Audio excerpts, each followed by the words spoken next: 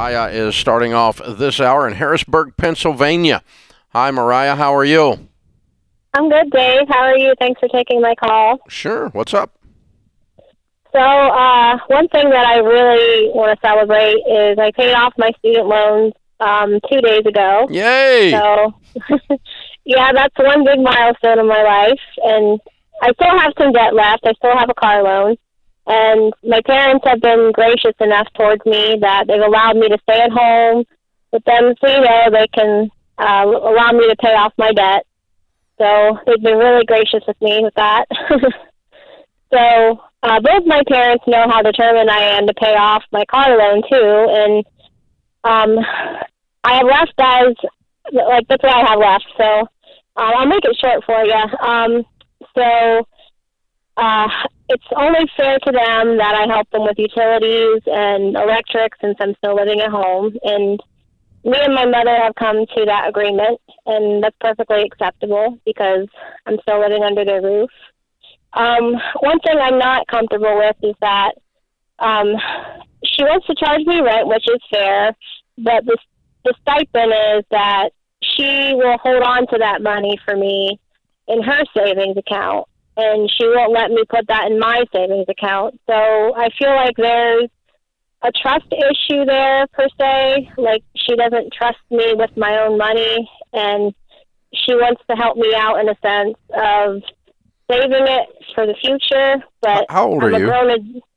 I'm 27 years old. 27. Hmm. What Yep. do you make a year? I make about 30 grand working two jobs. So I work 40 hours a week at my other job, and I put in about 20 hours with my part-time job. So You know, I, Maria, I, learning at you're 27. You know, my I, I'm I'm kind of split. So let me say this on the flip side. My father did did the exact same thing that your mother is doing, um, uh, but I was 20. You know, I was 19, 20, maybe 21 around that time. Um, he Mhm. actually, I, tr- I paid him $250 a month. And by the time I moved out, he actually gave that all back to me and some uh, to start my life off. But let me ask you a Mhm. question. I want you to be honest with us. Should your mom be able to trust you? Like, are you being a good steward with your money? I am, yeah. She wants to play a game where she's the landlord, and at the end of the game, she gives me all that money from the, the base rent that I've I- saved up over. And I don't know, think that's the day a that I've moved out. So Ma- Maria. I think you got to look at that differently. That's not a game. That's I think that's your mother trying to help you become a young adult. And if Mhm. you've never paid rent before, you you do need to know how to do that. So I, I would definitely take the word game out of it out of your out of your head and say, okay, cool. Let me just pay my mom rent, move on about your life, get out of debt, and do everything.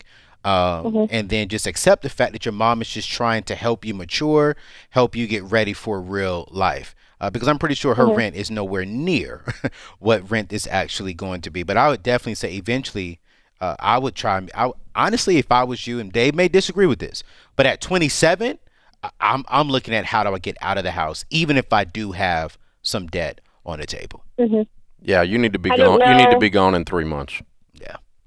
I didn't know if it would Time be to move out, kiddo. To, okay. Time to move Thank out. you for taking my call. You're 20. You're 27 years old. It's time to move out. Yep. Get get your job working. Get get your budget on an apartment. Figure out how it's going to work. Mhm. Take tell mom I got about three months to get my act together the rest of the way, and um, uh, it's time for you to move out. You're you're uh, th- this is emotionally treating someone like they're 18, 17, 19 years old or whatever, and you're 27. Yeah. Okay, so yeah, you need to move on. And uh, your mom's trying to be sweet. She's be, trying to be helpful, but it's time for you to take that next big girl step. Yeah. And uh, it'll change your life. It'll be good for you.